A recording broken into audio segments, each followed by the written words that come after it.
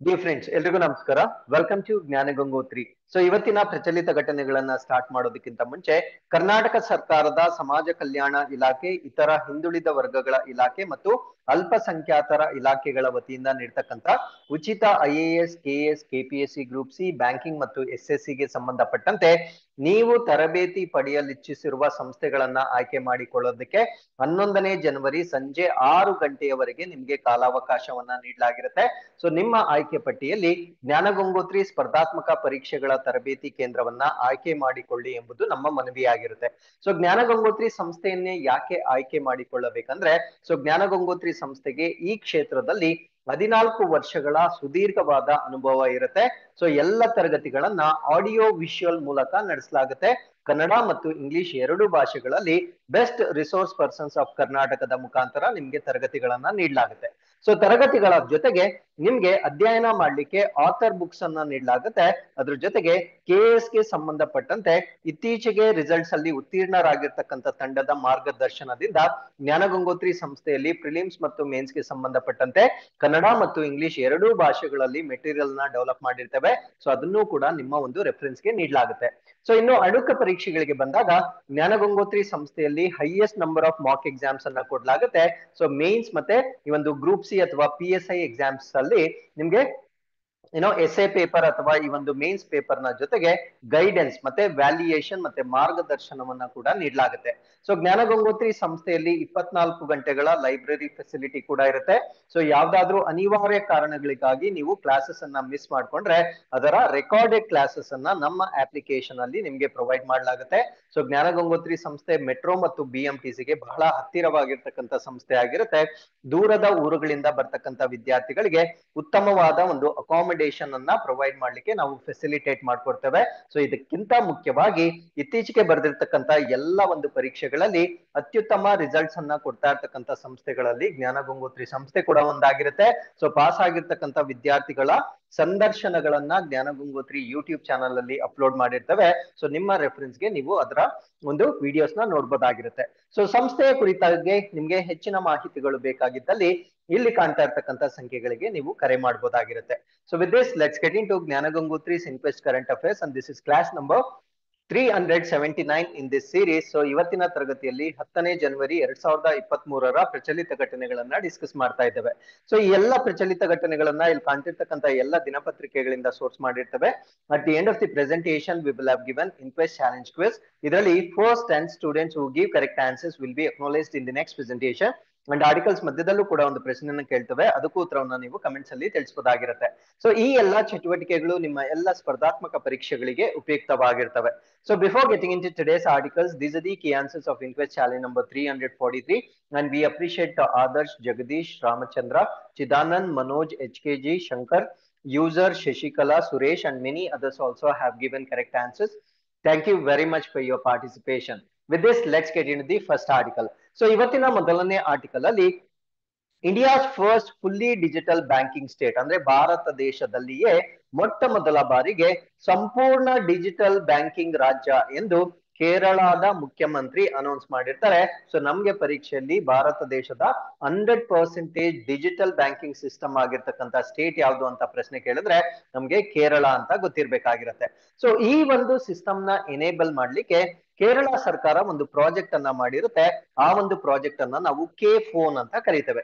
So K phone ಅಂದ್ರೆ Kerala fibre optic network ಅಂತ ಕರಿತೇವೆ. ಸೊ ಇದರ ಒಂದು ಆಬ್ಜೆಕ್ಟಿವ್ ಏನು ಅಂದ್ರೆ ಕೇರಳದಾದ್ಯಂತ ಇಂಟರ್ನೆಟ್ ಕನೆಕ್ಷನ್ ಅನ್ನ ಸರ್ಕಾರದ ವತಿಯಿಂದ ನೀಡ್ತಕ್ಕಂಥದ್ದು ಈ ಒಂದು ಪ್ರಾಜೆಕ್ಟ್ನ ಪ್ರಮುಖವಾದ ಉದ್ದೇಶ ಆಗಿರುತ್ತೆ. ಸೊ ಪ್ರಸ್ತುತವಾಗಿ ಈ ಒಂದು ಪ್ರಾಜೆಕ್ಟ್ ನೈಂಟಿ ಪರ್ಸೆಂಟೇಜ್ ಕಂಪ್ಲೀಟ್ ಆಗಿರುತ್ತೆ. ಸೊ ಆ ಒಂದು ಕಾರಣದಿಂದ ಕೇರಳ ಈಗ ಭಾರತ ದೇಶದಲ್ಲಿಯೇ ಡಿಜಿಟಲ್ ಬ್ಯಾಂಕಿಂಗ್ ವ್ಯವಸ್ಥೆಯನ್ನ ಹಂಡ್ರೆಡ್ ಪರ್ಸೆಂಟೇಜ್ ಹೊಂದಿರತಕ್ಕಂತ ದೇಶದ ಮೊಟ್ಟ ಮೊದಲ ರಾಜ್ಯವಾಗಿರುತ್ತೆ.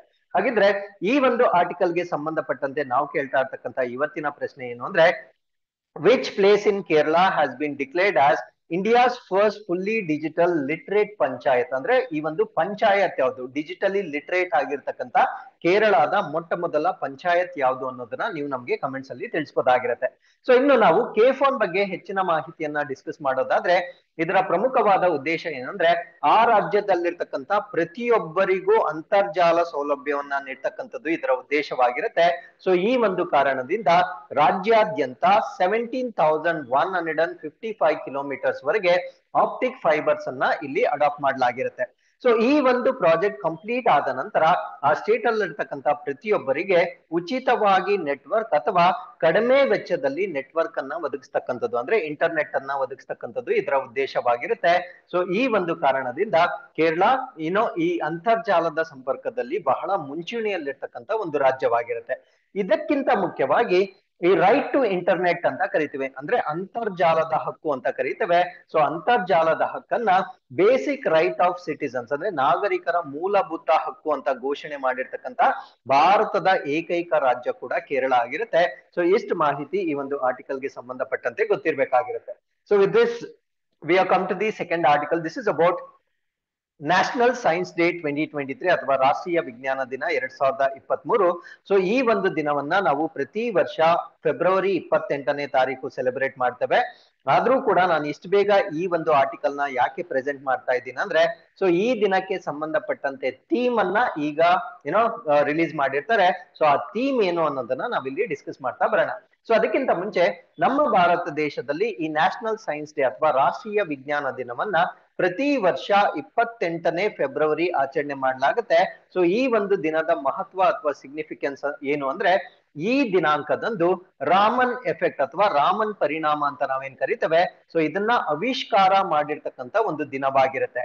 ಸೊ ಇಪ್ಪತ್ತೆಂಟನೇ ಫೆಬ್ರವರಿಯನ್ನ ನಮ್ಮ ದೇಶದಲ್ಲಿ ನ್ಯಾಷನಲ್ ಸೈನ್ಸ್ ಡೇ ಅಥವಾ ರಾಷ್ಟ್ರೀಯ ವಿಜ್ಞಾನ ದಿನ ಅಂತ declare ಮಾಡಲಾಗಿರುತ್ತೆ. So in nineteen eighty six ಅಂದ್ರೆ ಸಾವಿರದ ಒಂಬೈನೂರ ಎಂಬತ್ತ ಆರರಲ್ಲಿ ಈ ಒಂದು ದಿನವನ್ನ ಗೊತ್ತು ಮಾಡಲಾಗಿರುತ್ತೆ. ಆನ್ ದಿಸ್ ಡೇ ಅಂದ್ರೆ ಈ ಒಂದು ದಿನಾಂಕ. C V Raman announce the discovery of Raman effect ಅಂದ್ರೆ ಸಿ ವಿ ರಾಮನ್ ವಿಜ್ಞಾನಿ, ವಿಜ್ಞಾನಿಯವರು ರಾಮನ್ ಎಫೆಕ್ಟ್ ಅನ್ನ ಆವಿಷ್ಕಾರ ಮಾಡಿರ್ತಕ್ಕಂಥ ಒಂದು ದಿನಾಂಕವಾಗಿರುತ್ತೆ. ಸೊ ಈ ಒಂದು ಕಾರಣಕ್ಕಾಗಿ ಇವರಿಗೆ ಸಾವಿರದ ಒಂಬೈನೂರ ಮೂವತ್ತರಲ್ಲಿ ಈ ಆಲ್ಸೋ ಅವಾರ್ಡೆಡ್ ನೊಬೆಲ್ ಪ್ರೈಸ್ ಅಥವಾ ನೊಬೆಲ್ ಪ್ರಶಸ್ತಿಯನ್ನ ಕೂಡ ಇವರಿಗೆ ನೀಡಲಾಗಿರುತ್ತೆ. ಹಾಗಿದ್ರೆ ಈಗ ಡಿಕ್ಲೇರ್ ಆಗಿರ್ತಕ್ಕಂಥ ಥೀಮ್ ಏನು ಅಂದ್ರೆ national science day twenty twenty ತ್ರೀಯ theme theme ಏನು ಅಂದ್ರೆ global science for global wellbeing ಅಂದ್ರೆ ಜಾಗತಿಕ ಯೋಗಕ್ಷೇಮಕ್ಕಾಗಿ ಜಾಗತಿಕ ವಿಜ್ಞಾನ ಎನ್ನು, ಎಂತಕ್ಕಂಥದ್ದು ರಾಷ್ಟ್ರೀಯ ವಿಜ್ಞಾನ ದಿನ ಎರಡ್ ಸಾವಿರದ ಇಪ್ಪತ್ತ್ ಮೂರರ ಥೀಮ್ ಆಗಿರುತ್ತೆ. So with this we are come to the third article this is about eighty seventh Akhila Bharata Kannada ಸಾಹಿತ್ಯ ಸಮ್ಮೇಳನ ಅಂದ್ರೆ ಎಂಬತ್ತೇಳನೇ ಅಖಿಲ ಭಾರತ ಕನ್ನಡ ಸಾಹಿತ್ಯ ಸಮ್ಮೇಳನ ಎಲ್ಲಿ ನಡೆಸ್ಬೇಕಂತ ಈಗ ನಿರ್ಧಾರ ಆಗಿರುತ್ತೆ. ಸೊ, ಎಂಬತ್ತೇಳನೇ ಈ ಒಂದು ಸಮ್ಮೇಳನವನ್ನ ಎಲ್ಲಿ ನಡೆಸ್ತಾ ಇದ್ದಾರೆ ಅಂದ್ರೆ ಕರ್ನಾಟಕ ರಾಜ್ಯದ ಶುಗರ್ ಬೌಲ್ ಅಥವಾ ಸಕ್ಕರೆ ಬಟ್ಟಲು ಆಗಿರ್ತಕ್ಕಂತ ಮಂಡ್ಯದಲ್ಲಿ ಇದನ್ನ ನಡೆಸಲಿಕ್ಕೆ ಈಗ ನಿರ್ಧಾರವನ್ನ ಮಾಡಿರ್ತಾರೆ. ಸೊ, ಈ ಒಂದು ಸಮ್ಮೇಳನ ಅಥವಾ ಈ ಒಂದು ಅಖಿಲ ಭಾರತ ಕನ್ನಡ ಸಾಹಿತ್ಯ ಸಮ್ಮೇಳನ ಡಿಕ್ಲೇರ್ ಆಗಿರುತ್ತೆ. ಸೊ, ಇದರ ಪ್ರೆಸಿಡೆಂಟ್ ಬಂದು ಕನ್ನಡ ಸಾಹಿತ್ಯ ಪರಿಷತ್, ಅಂದ್ರೆ ನಮ್ಮ ಒಂದು ಕನ್ನಡ ಸಾಹಿತ್ಯ ಪರಿಷತ್ ಏನಿರುತ್ತೆ. ಸೊ, ಇದರ ಪ್ರಸ್ತುತ ಅಧ್ಯಕ್ಷರು ಬಂದು ಮಹೇಶ್ ಜೋಶಿ ಆಗಿರ್ತಾರೆ.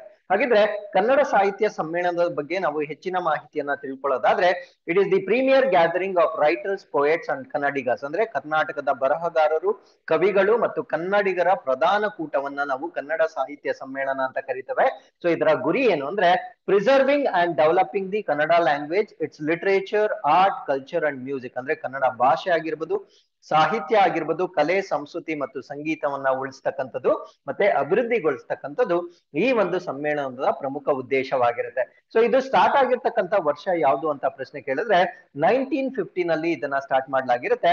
ಸೊ ಇದರ, ಇದನ್ನ ಸ್ಟಾರ್ಟ್ ಮಾಡಿರ್ತಕ್ಕಂಥವ್ರು ಎಚ್ ವಿ ನಂಜುಂಡಯ್ಯ ಅವರು ಸ್ಟಾರ್ಟ್ ಮಾಡಿರ್ತಾರೆ. ಸೊ ಮೊಟ್ಟ ಮೊದಲ ಸಮ್ಮೇಳನ ಎಲ್ಲಿ ನಡೀತು ಅಂದ್ರೆ ಬೆಂಗಳೂರಿನಲ್ಲಿ ಇದನ್ನ ಆಯೋಜನೆ ಮಾಡ್ಲಾಗಿರುತ್ತೆ.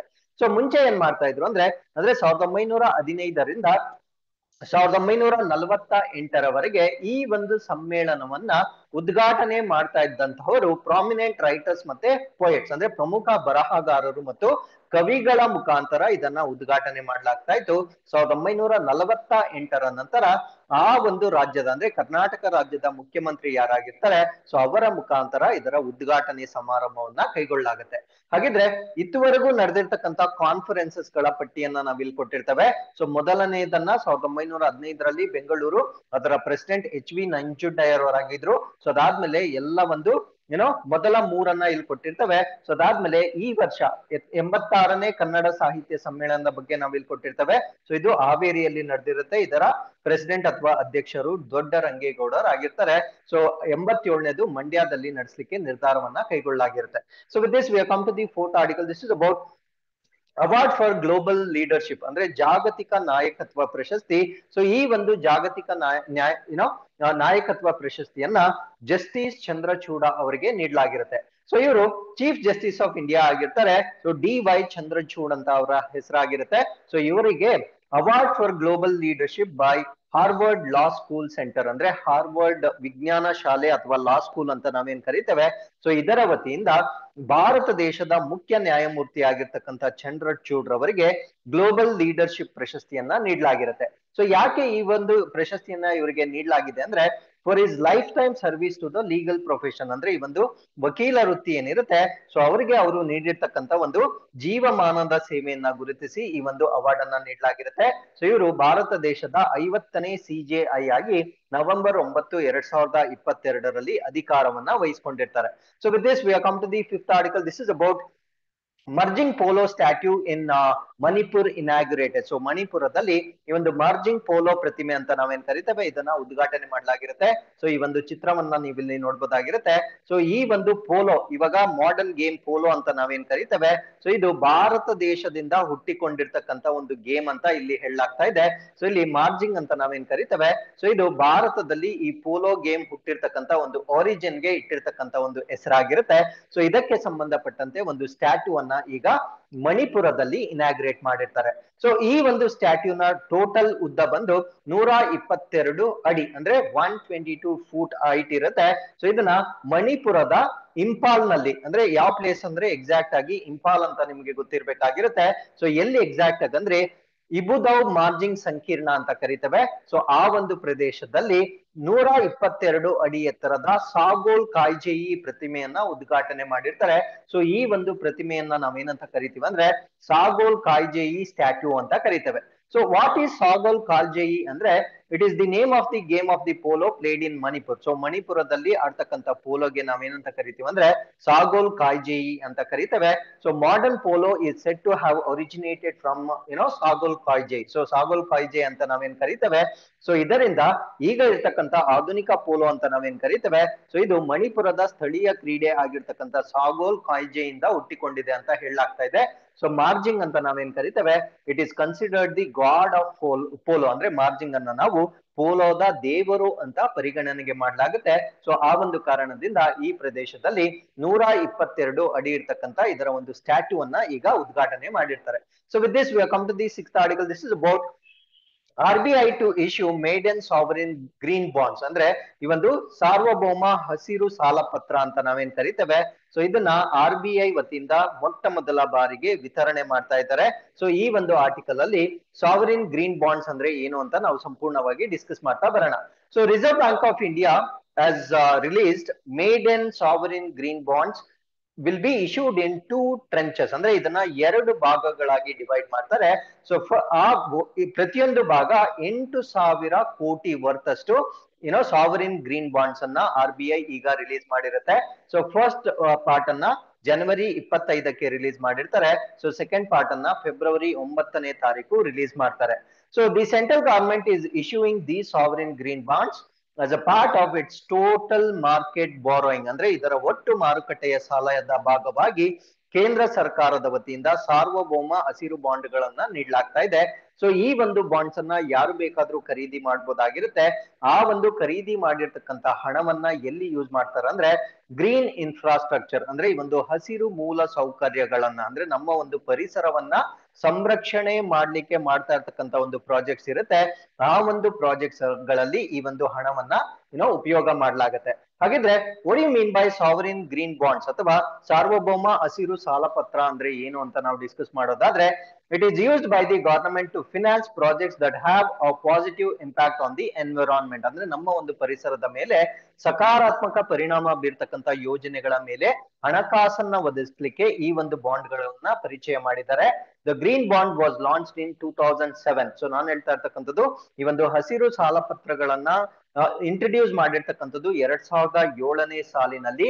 ಯಾರು ಇದನ್ನ ಇಂಟ್ರಡ್ಯೂಸ್ ಮಾಡಿದಾರೆ ಅಂದ್ರೆ European investment bank and the world bank ಅಂದ್ರೆ ಯುರೋಪಿಯನ್ ಇನ್ವೆಸ್ಟ್ ಬ್ಯಾಂಕ್ ಮತ್ತೆ ವಿಶ್ವ ಬ್ಯಾಂಕ್ ಮೊಟ್ಟ ಮೊದಲ ಬಾರಿಗೆ ಈ ರೀತಿಯ ಬಾಂಡ್ ಗಳನ್ನ ಎರಡ್ ಸಾವಿರದ ಏಳರಲ್ಲಿ ಪರಿಚಯ ಮಾಡಿರುತ್ತೆ. The government aims to attract foreign investor through these bonds ಅಂದ್ರೆ ಈ ಒಂದು ಬಾಂಡ್ಗಳು ಅಥವಾ ಸಾಲ ಪತ್ರಗಳನ್ನ ಬರೀ ಆ ದೇಶದ ನಾಗರಿಕರು ಮಾತ್ರ ಅಲ್ಲ, ವಿದೇಶಿಯರು ಕೂಡ ಹೂಡಿಕೆ ಮಾಡ್ಲಿಕ್ಕೆ ಈ ಒಂದು ಗ್ರೀನ್ ಬಾಂಡ್ಸ್ ಗಳನ್ನ purchase ಮಾಡಬಹುದಾಗಿರುತ್ತೆ so with this we come to the seventh article this is about chairman of BCCI selection committee and five members panel so ಈಗ ಬಿಸಿಸಿಐ ಅಂದ್ರೆ ಏನೋ ಭಾರತ ದೇಶದ ಈ ಒಂದು ಕ್ರಿಕೆಟ್ ಮಂಡಳಿ ಏನಿರುತ್ತೆ ಸೊ ಇದರ ಆಯ್ಕೆ ಸಮಿತಿಯ ಅಧ್ಯಕ್ಷರನ್ನ ಈಗ ಸೆಲೆಕ್ಟ್ ಮಾಡಿರ್ತಾರೆ. ಅವ್ರ ಜೊತೆ ಐದು ಸದಸ್ಯರ ಸಮಿತಿಯನ್ನ ಕೂಡ ನೇಮಕ ಮಾಡಿರ್ತಾರೆ. ಸೊ ಹಾಗಿದ್ರೆ who is the chairman of BCCI selection committee ಅಂದ್ರೆ ಮತ್ತೊಮ್ಮೆ ಚೇತನ್ ಶರ್ಮಾ ರವರನ್ನ ಇಲ್ಲಿ ಏನೋ ಭಾರತ ಕ್ರಿಕೆಟ್ ನಿಯಂತ್ರಣ ಮಂಡಳಿಯ, ಮಂಡಳಿ ಚೇತನ್ ಶರ್ಮಾ ಅವರನ್ನ ಆಯ್ಕೆಗಾರರ ಅಧ್ಯಕ್ಷರನ್ನಾಗಿ ಮರು ನೇಮಕ ಮಾಡಲಾಗಿರುತ್ತೆ. ಸೊ ಪ್ಲೇಯರ್ಸ್ ಅನ್ನ ಸೆಲೆಕ್ಟ್ ಮಾಡೋದಕ್ಕಾಗಿ ಇವರನ್ನ ಅಧ್ಯಕ್ಷರನ್ನಾಗಿ ನೇಮಕ ಮಾಡಲಾಗಿರುತ್ತೆ. ಅದ್ರ ಜೊತೆಗೆ they've also announce four names for the senior men's national selection team ಅಂದ್ರೆ ಈ ಒಂದು ಹಿರಿಯ ಪುರುಷರ ರಾಷ್ಟ್ರೀಯ ಆಯ್ಕೆ ಸಮಿತಿ ಏನಿರುತ್ತೆ ಸೊ ಇದಕ್ಕೆ ನಾಲ್ಕು ಹೆಸರುಗಳನ್ನ ಕೂಡ ಅವರು ಪ್ರಕಟಣೆ ಮಾಡಿರ್ತಾರೆ. ಆ ನಾಲ್ಕು ಹೆಸರುಗಳು ಏನು ಅನ್ನೋದನ್ನ ನಾವಿಲ್ಲಿ ಮೆನ್ಷನ್ ಮಾಡಿರ್ತೇವೆ. You can just go through the information ಹಾಗಿದ್ರೆ ಬಿಸಿಸಿಐ ಬಗ್ಗೆ ನಾವು ಇಲ್ಲಿ ಹೆಚ್ಚಿನ ಮಾಹಿತಿಯನ್ನ ನಾವು ಡಿಸ್ಕಸ್ ಮಾಡೋದಾದ್ರೆ ಬಿಸಿಸಿಐ ನ ನಾವೇನಂತ ಕರಿತೀವಿ ಅಂದ್ರೆ board of control for cricket in India ಅಂತ ಕರೀತವೆ. So it is the national governing body for cricket in India ಅಂದ್ರೆ ಭಾರತ ದೇಶದಲ್ಲಿ ಈ ಕ್ರಿಕೆಟ್ ಅಂತ ಒಂದು ಕ್ರೀಡೆ ಏನಿರುತ್ತೆ. ಸೊ ಇದಕ್ಕೆ ಸಂಬಂಧಪಟ್ಟಂತೆ ರಾಷ್ಟ್ರೀಯ ಆಡಳಿತ ಮಂಡಳಿಯನ್ನ ನಾವು ಬಿಸಿಸಿಐ ಅಂತ ಕರಿತೇವೆ. ಸೊ ಇದರ ಕೇಂದ್ರ ಕಚೇರಿ ಅಥವಾ ಹೆಡ್ ಕ್ವಾರ್ಟರ್ಸ್ ಎಲ್ಲಿರುತ್ತೆ ಅಂದ್ರೆ ಮುಂಬೈನ ವಾಂಕೆಡೆ ಸ್ಟೇಡಿಯಂ ನಲ್ಲಿ ಇದರ ಕೇಂದ್ರ ಕಚೇರಿಯನ್ನ ನಾವು ನೋಡಬಹುದಾಗಿರುತ್ತೆ ಸೊ ಬಿಸಿಸಿಐ ಬಂದು it is the richest governing body of the cricket in the world ಅಂದ್ರೆ ನಮ್ಮ ಒಂದು ಪ್ರಪಂಚದಲ್ಲಿಯೇ ಶ್ರೀಮಂತ ಆಡಳಿತ ಮಂಡಳಿ ಆಗಿರ್ತಕ್ಕಂಥ ಒಂದು ಸಂಸ್ಥೆ ಇದಾಗಿರುತ್ತೆ ಅಥವಾ ಒಂದು ಯೂನಿಟ್ ಆಗಿರುತ್ತೆ. And it is a part of the big three international cricket along with cricket Australia and the England and Wales cricket board ಅಂದ್ರೆ ನಮ್ಮ ಭಾರತ ದೇಶದಲ್ಲಿ ಹೇಗೆ ಬಿಸಿಸಿಐ ಇದೆಯೋ ಅದೇ ರೀತಿ ಆಸ್ಟ್ರೇಲಿಯಾದ ಕ್ರಿಕೆಟ್ ಆಸ್ಟ್ರೇಲಿಯಾ ಆಗಿರ್ಬೋದು, ಇಂಗ್ಲೆಂಡ್ ಮತ್ತು ವೇಲ್ಸ್ ಕ್ರಿಕೆಟ್ ಮಂಡಳಿ ಆಗಿರ್ಬೋದು, ಸೊ ಈ ಎಲ್ಲ ಒಂದು ಕ್ರಿಕೆಟ್ ಮಂಡಳಿಗಳಿಗೆ ಸಂಬಂಧಪಟ್ಟಂತೆ ಇದು ಕೂಡ ಒಂದು ವಿಶ್ವದಲ್ಲಿಯೇ ಅತ್ಯಂತ ಶ್ರೀಮಂತವಾಗಿರ್ತಕ್ಕಂಥ ಒಂದು ಕ್ರಿಕೆಟ್ ಆಡಳಿತ ಮಂಡ, ಮಂಡಳಿ ಆಗಿರುತ್ತೆ. ಸೊ ಇದನ್ನ ರಚನೆ ಮಾಡಿರ್ತಕ್ಕಂಥ ವರ್ಷ ನೈನ್ಟೀನ್ ಟ್ವೆಂಟಿ ಏಟ್ ಸಾವಿರದ ಒಂಬೈನೂರ ಇಪ್ಪತ್ತ ಎಂಟರಲ್ಲಿ ಇದನ್ನ ರಚನೆ ಮಾಡಿರ್ತಾರೆ. And it is is a consortium of state cricket association ಅಂದ್ರೆ ರಾಜ್ಯ ರಾಜ್ಯಗಳಲ್ಲಿ ಇರ್ತಕ್ಕಂಥ ಒಂದು ಕ್ರಿಕೆಟ್ ಸಂಸ್ಥೆಗಳು ಏನಿರ್ತವೆ ಆ ಎಲ್ಲ ಸಂಸ್ಥೆಗಳ ಒಕ್ಕೂಟವನ್ನ ನಾವು ಬಿಸಿಸಿಐ ಅಂತ ಕರಿತೇವೆ. ಸೊ ರಾಜ್ಯಗಳಲ್ಲಿ ಇರ್ತಕ್ಕಂಥ ಒಂದು ಒಕ್ಕೂಟ ಏನಿರುತ್ತೆ? ಸೊ ಅದರಿಂದ ಒಬ್ಬೊಬ್ಬ ರೆಪ್ರೆಸೆಂಟೇಟಿವ್ಸ್ನ ರಾಜ್ಯಗಳು, ಅಂದ್ರೆ ಪ್ರತಿ ರಾಜ್ಯಗಳಿಂದ ಪ್ರತಿನಿಧಿಗಳನ್ನ ಕಳಿಸಲಾಗತ್ತೆ. ಸೊ ಈ ಒಂದು ಪ್ರತಿನಿಧಿಗಳ ವೋಟಿಂಗ್ನ ಆಧಾರದ ಮೇಲೆ ಬಿಸಿಸಿಐ ಪ್ರೆಸಿಡೆಂಟ್ ಅಥವಾ ಬಿಸಿಸಿಐ ಅಧ್ಯಕ್ಷರನ್ನ ಆಯ್ಕೆ ಮಾಡ್ತಕ್ಕಂತ ಒಂದು ಪದ್ಧತಿ ಇರುತ್ತೆ. ಹಾಗಿದ್ರೆ ಮೊಟ್ಟ ಮೊದಲ ಬಿಸಿಸಿಐ ಪ್ರೆಸಿಡೆಂಟ್ ಯಾರಾಗಿದ್ರು ಅಂತ ಪ್ರಶ್ನೆ ಕೇಳಿದ್ರೆ ಗ್ರಾಂಟ್ ಗೋವನ್ ಅವರು ಮೊಟ್ಟ ಮೊದಲ ಬಿಸಿಸಿಐ ಪ್ರೆಸಿಡೆಂಟ್ ಆಗಿರ್ತಾರೆ. ಅದಾದ್ಮೇಲೆ ಆಂಟೋನಿ ಡಿ ಮೆಲ್ಲೋ ಅಂತ ನಾವೇನ್ ಕರಿತೇವೆ, ಅವರು ಮೊಟ್ಟ ಮೊದಲ ಕಾರ್ಯದರ್ಶಿ ಅಥವಾ ಸೆಕ್ರೆಟರಿ ಆಗಿ ಸೇವೆಯನ್ನ ಸಲ್ಲಿಸಿರ್ತಾರೆ. ಸೊ ಪ್ರಸ್ತುತವಾಗಿ Roger Binny is the incumbent BCCI president so ಇವರು ಬಿಸಿಸಿಐ ಅಧ್ಯಕ್ಷರಾಗಿದ್ದು ಜೇ ಶಾ ಇದರ ಸೆಕ್ರೆಟರಿ ಅಥವಾ ಕಾರ್ಯದರ್ಶಿ ಆಗಿರ್ತಾರೆ. ಸೊ ಅದಾದ್ಮೇಲೆ ಬಿಸಿಸಿಐ ಇಸ್ ಅನ್ ಆಟೋನಾಮಸ್ ಅಂದ್ರೆ ಇದು ಒಂದು ಸ್ವಾಯತ್ತವಾಗಿರ್ತಕ್ಕಂಥ ಒಂದು ಸಂಸ್ಥೆ ಆಗಿರುತ್ತೆ. ಇಟ್ಸ್ ಅ ಪ್ರೈವೇಟ್ ಆರ್ಗನೈಸೇಷನ್ ಇದೊಂದು ಖಾಸಗಿ ಸಂಸ್ಥೆ ಆಗಿರುತ್ತೆ. It does not fall under the purview of the national sports federation of India ಅಂದ್ರೆ ಭಾರತ ದೇಶದ ಈ ಒಂದು ರಾಷ್ಟ್ರೀಯ ಕ್ರೀಡಾ ಒಕ್ಕೂಟ ಅಂತ ನಾವೇನು ಕರಿತೇವೆ. ಸೊ ಇದರ ವ್ಯಾಪ್ತಿಗೆ ಬರದೇ ಇರತಕ್ಕಂತ ಒಂದು ಒಕ್ಕೂಟ ಇದಾಗಿರುತ್ತೆ. The government of India has minimum regulations on BCCI so BCCI ಮೇಲೆ ನಮ್ಮ ಭಾರತ ಸರ್ಕಾರ ಗರಿಷ್ಠವಾದ ನಿಯಂತ್ರಣವನ್ನ ಹೊಂದಿರೋದಿಲ್ಲ, ತುಂಬಾ ಮಿನಿಮಮ್ ಅಥವಾ ಕನಿಷ್ಠವಾದ ನಿಯಂತ್ರಣವನ್ನ ಹೊಂದಿರುತ್ತೆ. As such it does not receive any grants or funds from the ministry of sports ಅಂದ್ರೆ ನಮ್ಮ ಒಂದು ಕ್ರೀಡಾ ಸಚಿವಾಲಯದಿಂದ ಯಾವುದೇ ರೀತಿಯ ಅನುದಾನ ಅಥವಾ ನಿಧಿಯನ್ನ ಪಡೆಯೋದಿಲ್ಲ. ಆಸ್ ಇಟ್ ಈಸ್ ರಿಚ್ ಅಂದ್ರೆ ಇದು ಶ್ರೀಮಂತವಾಗಿರ್ತಕ್ಕಂಥ ಒಂದು ಮಂಡಳಿ ಆಗಿರೋದ್ರಿಂದ ಸರ್ಕಾರದ ವತಿಯಿಂದ ಯಾವುದೇ ರೀತಿಯ ಫಂಡಿಂಗ್ನ ಅವಶ್ಯಕತೆ ಇದಕ್ಕೆ ಇರುವುದಿಲ್ಲ. So with this we come to the eighth article this is about Pradhan Mantri national apprenticeship ಮೇಳ. ಸೊ ಪ್ರಧಾನ ಮಂತ್ರಿ ರಾಷ್ಟ್ರೀಯ ಶಿಷ್ಯ ವೃತ್ತಿ ಮೇಳ. ಸೊ ಏನಿದು ಶಿಷ್ಯ ವೃತ್ತಿ ಅಥವಾ ಅಪ್ರೆಂಟಿಸ್ಶಿಪ್ ಅಂದ್ರೆ ಏನು ಅಂತ ನಾವಿಲ್ಲಿ ಡಿಸ್ಕಸ್ ಮಾಡ್ತಾ ಬರೋಣ. ಸೊ ಪ್ರಧಾನ ಮಂತ್ರಿ ನ್ಯಾಷನಲ್ ಅಪ್ರೆಂಟಿಸ್ಶಿಪ್ ಮೇಳ ಏನಿರುತ್ತೆ? ಸೊ ಇದನ್ನ ಈ ವರ್ಷ ಇನ್ನೂರ ನಲವತ್ತ ಎರಡು ಜಿಲ್ಲೆಗಳಲ್ಲಿ ಕಂಡಕ್ಟ್ ಮಾಡ್ಲಾಗ್ತಾ ಇದೆ. ಅಂದ್ರೆ ಟೂ ಫಾರ್ಟಿ ಟೂ ಡಿಸ್ಟ್ರಿಕ್ಟ್ಸ್ ಅಲ್ಲಿ ಇದನ್ನ ಕಂಡಕ್ಟ್ ಮಾಡ್ತಾ ಇದ್ದಾರೆ. ಸೊ ಇದನ್ನ ಕಂಡಕ್ಟ್ ಮಾಡ್ತಕ್ಕಂತ ಮಿನಿಸ್ಟ್ರಿ ಅಥವಾ ಸಚಿವಾಲಯ ಬಂದು ministry of skill development and entrepreneurship ಅಂದ್ರೆ ಕೌಶಲ್ಯ ಅಭಿವೃದ್ಧಿ ಮತ್ತು ವಾಣಿಜ್ಯೋದ್ಯಮ ಸಚಿವಾಲಯದ ವತಿಯಿಂದ ಇದನ್ನ ಕಂಡಕ್ಟ್ ಮಾಡ್ಲಾಗ್ತಾ ಇದೆ. ಸೊ ಇದರಲ್ಲಿ ಏನ್ ಮಾಡ್ತಾ ಇದ್ರು ಅಂದ್ರೆ it provides apprenticeship opportunity to Indian youth ಅಂದ್ರೆ ಭಾರತ ದೇಶದಲ್ಲಿರ್ತಕ್ಕಂಥ ಯುವಕರಿಗೆ ಆ ಒಂದು ಶಿಷ್ಯ ವೃತ್ತಿ ಅಂದ್ರೆ ಆ ಒಂದು ಟ್ರೈನಿಂಗ್ ಅಂತ ನಾವೇನ್ ಕರಿತೇವೆ ಸೊ ಅದರ ಅವಕಾಶವನ್ನ ಈ ಒಂದು ಪ್ರೋಗ್ರಾಮ್ನ ಅಡಿಯಲ್ಲಿ ಮಾಡಿಕೊಡ್ಲಾಗುತ್ತೆ. ಸೊ ಇದರ ಪ್ರಮುಖ ಉದ್ದೇಶ ಏನು ಅಂದ್ರೆ, ಭಾರತ ದೇಶದಲ್ಲಿರ್ತಕ್ಕಂಥ ಒಂದು ಯುವಕರು ಆ ಒಂದು ಪಾಪ್ಯುಲೇಷನ್ ಅಲ್ಲಿ at least one million youth per annum ಅಂದ್ರೆ ಒಂದು ವರ್ಷಕ್ಕೆ ಒಂದು ಮಿಲಿಯನ್ ಯುವಕರಿಗೆ ತರಬೇತಿ ನೀಡ್ತಕ್ಕಂಥದ್ದು ಸರ್ಕಾರದ ಪ್ರಯತ್ನ ಆಗಿರುತ್ತೆ. ಸೊ ಇದರಲ್ಲಿ ಯಾರು ಪಾರ್ಟಿಸಿಪೇಟ್ ಮಾಡ್ಬೋದು ಅಂದ್ರೆ class five to class twelve pass out ಆಗಿರ್ತಕ್ಕಂಥವ್ರು ಅಂದ್ರೆ ಐದನೇ ತರಗತಿಯಿಂದ ಹನ್ನೆರಡನೇ ತರಗತಿವರೆಗೆ ಉತ್ತೀರ್ಣರಾಗಿರ್ತಕ್ಕಂಥವ್ರು.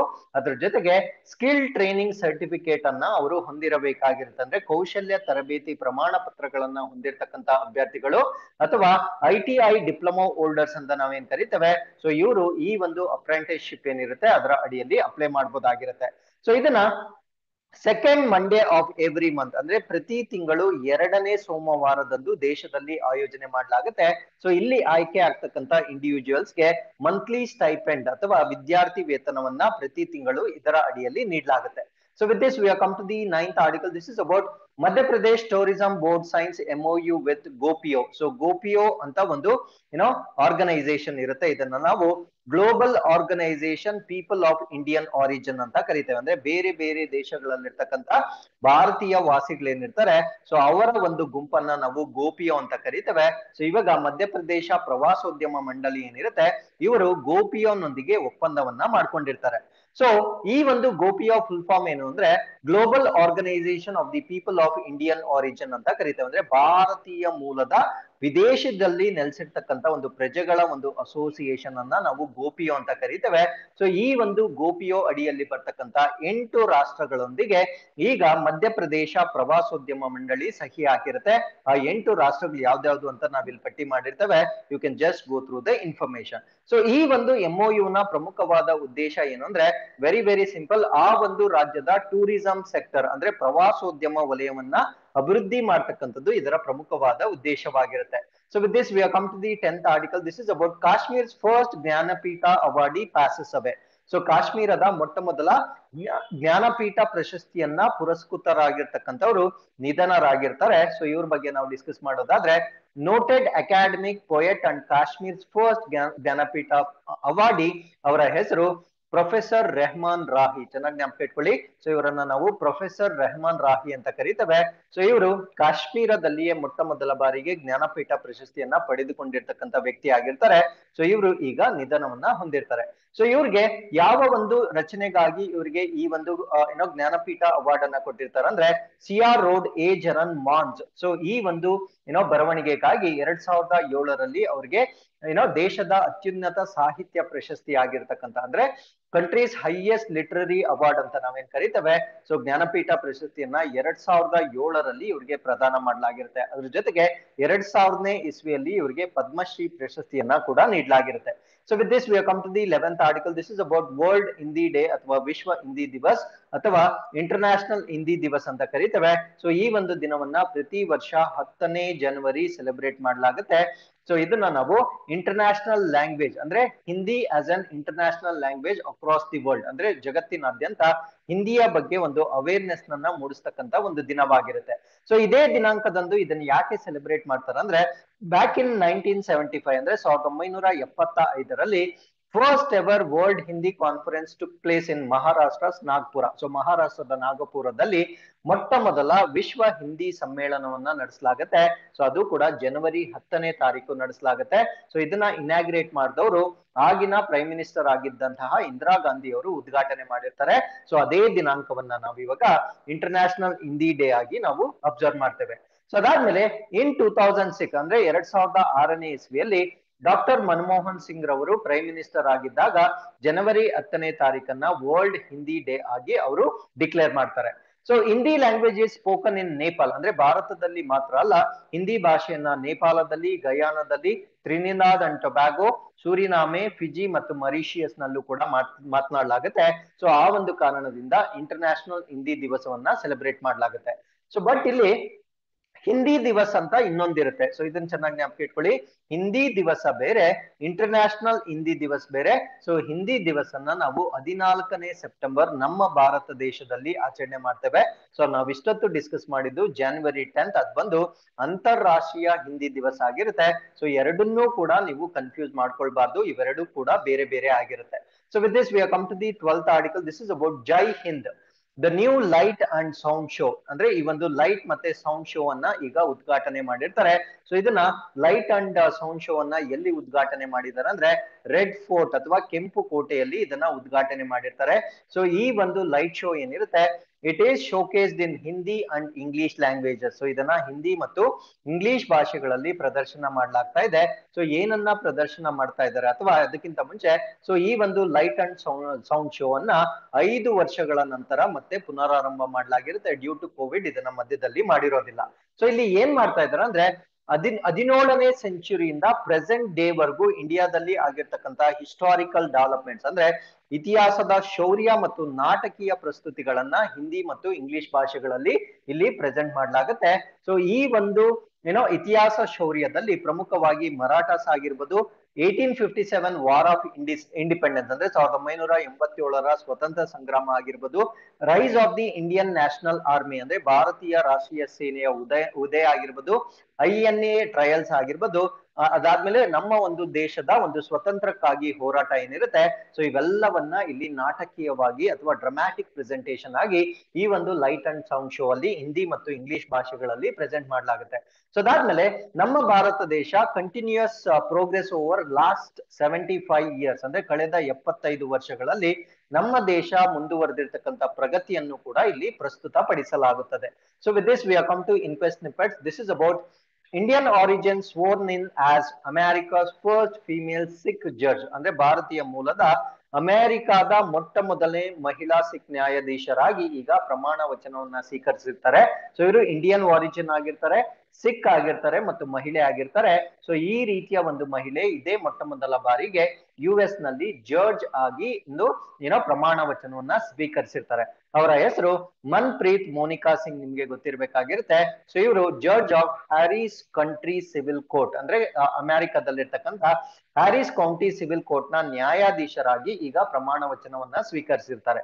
ಸೊ ಇಲ್ಲಿಗೆ ಇವತ್ತಿನ ಎಲ್ಲಾ ಪ್ರಚಲಿತ ಘಟನೆಗಳು ಕಂಪ್ಲೀಟ್ ಆಗಿರುತ್ತೆ. With this we come to inquest challenge number three hundred forty four you can just pass the video go through the questions and give us the answers once again I meet you tomorrow with tomorrow's updates till then keep reading take care of yourselves and thank you very much for watching this.